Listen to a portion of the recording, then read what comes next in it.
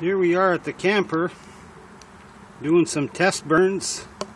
I got good dry pallet wood and uh, got her up to 325 right now.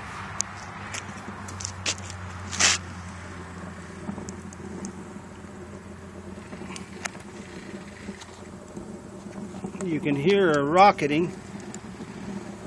I still have to work on those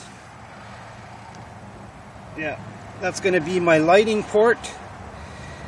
And I think I'm going to shorten that right up maybe right to here.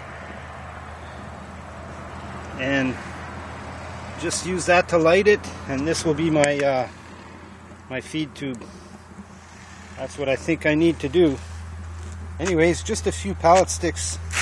Oh we're almost up to 350 so it's looking good. It should heat that beast I plan on putting it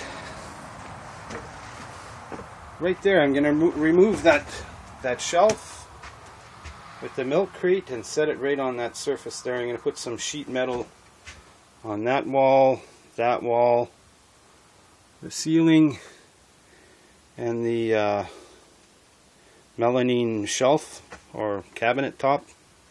That's where she's going to go. So I think it should heat this whole trailer. No problem.